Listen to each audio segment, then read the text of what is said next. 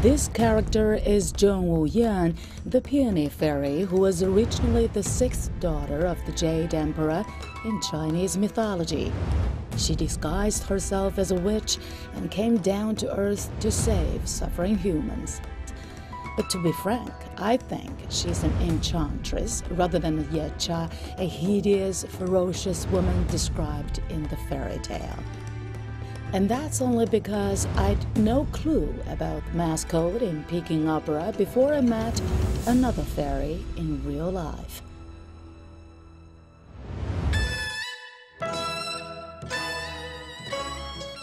This is Zhao Nan, who's cast as the Peony Fairy. The 30 year old is the fourth generation of inheritors since Qian Jinfu, Qian Jinfu was the earliest to combine Chinese traditional aesthetics with the art of Peking opera in the early 20th century.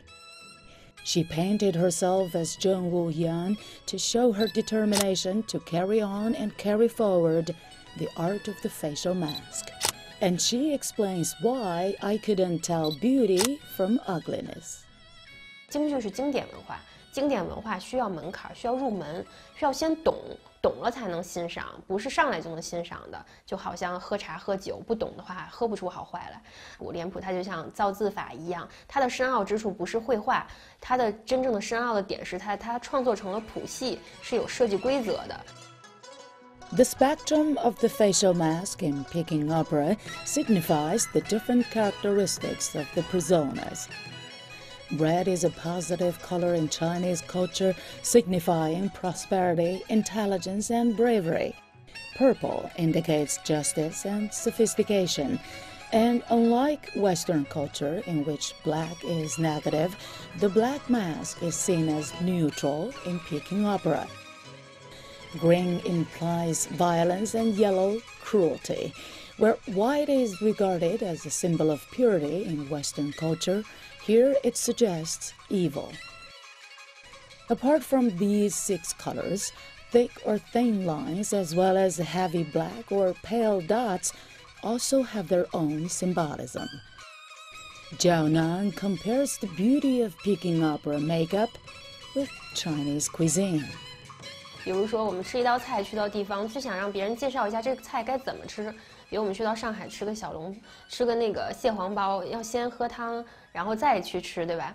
然后比如吃北京的烤鸭，我当时北京的朋友就有讲烤鸭应该怎么吃，喝鸭汤，然后再吃烤鸭，不要吃一堆乱七八糟的，因为那样的话会影响你对鸭味的体会。然后最后喝一个茉莉花茶，然后解油腻。哎，他一讲下来之后，这个鸭就有文化了。Now that I could understand. I couldn't wait to try my hand at painting a mask, though certainly not on a human face but a model, when Zhao Nan went to her father for help. Stressful, trembling, sweating, and even heartbroken. It is no easy thing to draw a single straight line on this undulating model, even if I practice calligraphy every day. Not bad, is it? So next time when I watch Peking Opera, with the help of my basic knowledge of these facial mask codes, I hope I'll be able to get a glimpse of the uh, characteristics of certain roles on the stage. But as I celebrated my first ever hand-painted mask, I was brought back to earth by what I heard next door. 抓特点你还可以，左右这掌握的比例还可以，这个就是中线，你看呀，找的是挺好吧？但是你这你看手上拉不直，还得就是用心去画。你看这个，我给你演示一下。你看这用笔了没有？这个下笔一定要什么拉出来是直线的，看见了没有？嗯。你看见没有？这边的线出出出来，它这个它非常直的。你的手上还是没有劲儿，还得多练。嗯。千遍万遍的练，才能才能练好。你看这个。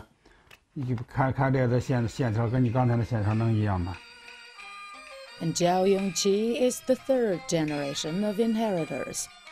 In 1984, he took the mantle from his teacher, Liu Zengfu, a renowned Peking opera researcher and an artist of Peking opera facial makeup.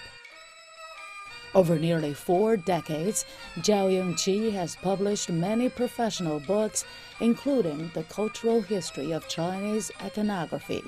His works have made great contributions to the collection, classification, and painting of facial makeup from various genres of Peking opera. 京剧脸谱啊，继承了中国美术的大成，他把色彩、线条突出了色彩和线条，它是色彩跟线条呢。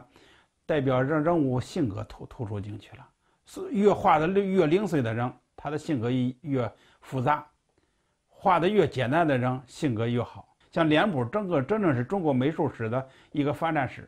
早期的脸谱这这是三色，黑、白、红，到现在京剧发展到大成的时候，它是五颜六色，精英都上去了，是他把脸谱的所有的性格都表现的特别完整。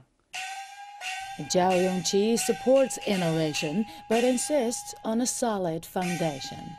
最放不下的就是一些传统的东西，一定要继承下来。总而言之，年轻人啊，在原有的基础上，然后再发展创新。传统的东西多看多学，特别是剧照了，原来的那东西有些老的视频，你多看一些，传统的东西能知道多一点，然后再去发展创新就最好。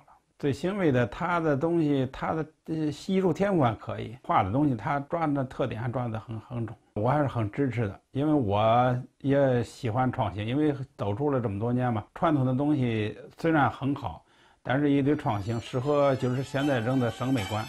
With a comprehensive understanding and cognition of the art of Peking opera, as well as creativity and confidence, Zhao Nan is well on her way to something new something big.